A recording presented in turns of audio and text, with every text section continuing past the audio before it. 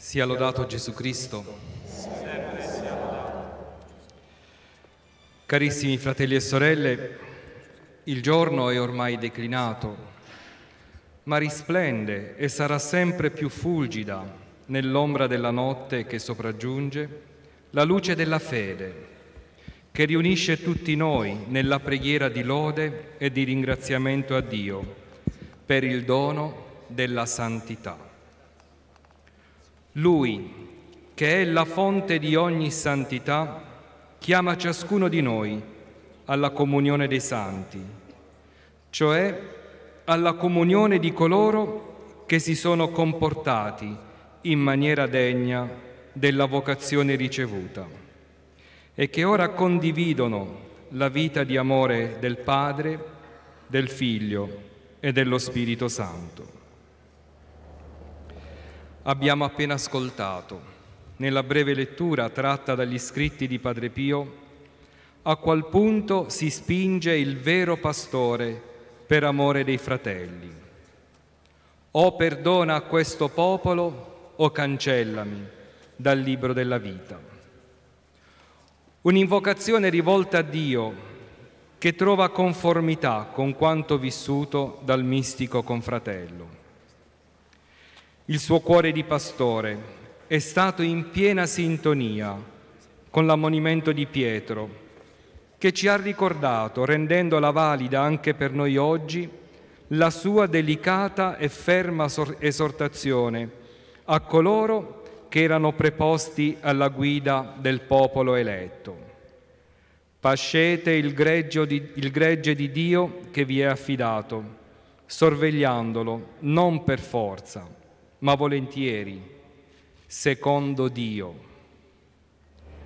Pascere il gregge secondo Dio, cioè secondo il suo cuore, secondo il suo cuore ricco di amore e di misericordia. Questa è stata la missione di Padre Pio. Noi, carissimi fratelli e sorelle, abbiamo bisogno di qualcuno che ci indichi una strada, che accenda una luce sul nostro cammino, di qualcuno che ci parli di Gesù, di qualcuno che ci dia l'esempio.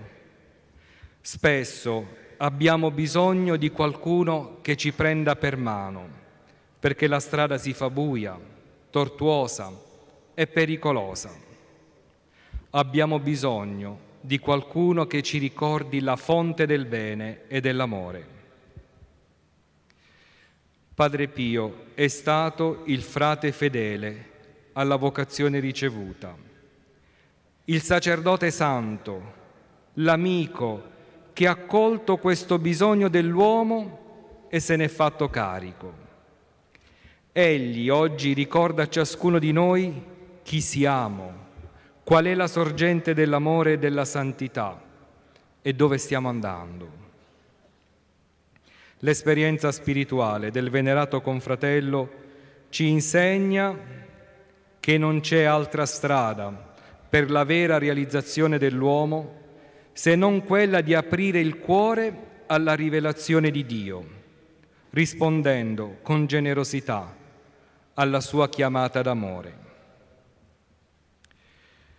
il nostro amato Santo, nella sua risposta alla chiamata di Dio, abbracciando in maniera esemplare la vita e la regola di San Francesco, ha gridato al mondo la ragione della sua speranza.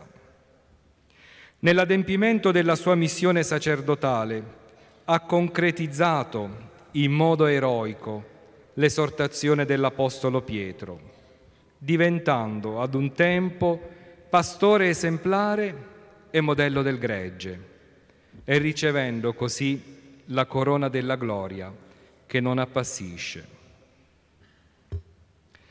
Se dunque da una parte Padre Pio, con la coerenza della sua vita, con la sua intercessione, ci è vicino, ci accompagna, prega per noi, dall'altra noi, con la nostra personale risposta, dobbiamo impegnarci a rendere sempre più fertile il terreno della nostra esistenza e far sì che la personale conversione a Dio sia autentica, al punto da portare frutti di speranza, di pace, di verità, di giustizia e soprattutto di carità.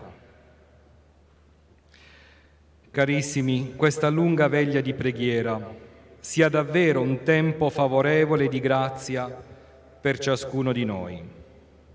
Facciamo sì che all'impegno, al sacrificio e al cammino compiuto per raggiungere questo luogo corrisponda una disposizione generosa del cuore ad accogliere per poi far fruttificare quanto il Signore ci dirà nell'annuncio della parola, nei sacramenti che celebreremo e nella presenza orante ed intercedente della Vergine Maria e dello stesso San Pio. Che ognuno allora possa ritornare a casa nella gioia grande per aver scoperto o riscoperto la bellezza della vita in Cristo e la certezza che per la sua opera di redenzione tutto è rinato a vita nuova, che la morte è vinta dalla risurrezione e dalla vita eterna e che il peccato è stato cancellato dalla misericordia infinita di Dio. Sono certo che Padre Pio dal cielo ci stia guardando per intercedere per noi, come Mosè, invocando presso Dio il perdono per ciascuno di noi suoi figli. Sia lodato Gesù Cristo.